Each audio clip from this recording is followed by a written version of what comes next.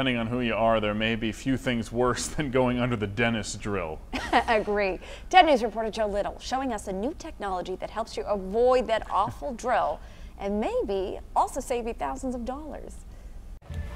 We're going to be in this room. It's checkup time for nine year old Lily Hobson. Hello, Princess. We are doing an exam on Lily today. It's a regular rite of passage for dentist Sam Halabo's patients. Lily's got beautiful teeth, and her parents always bring her for her exams. Those exams can get pricey especially if Dr. Halabo breaks out the drill. There's a lot of things we can do to help avoid the drill. One of them is this LED light and camera the Chula Vista based dentist is using to scan Lily's teeth. Looking great back here, Lily. Oh. Uh, It's a CamX Spectra device. Halabo is one of the few dentists in the country using it. This can save people so much money. It scans your teeth and creates an image similar to the Doppler radar we use in our weather reports. Everybody looks at it and they're like, wow, that looks so cool cool, that's my tooth. And you're like, yeah, but the less color on your tooth actually better. Green is good, yellow is bad. like that little orange right there. I may take that. I like the, uh, the LED light because it looks like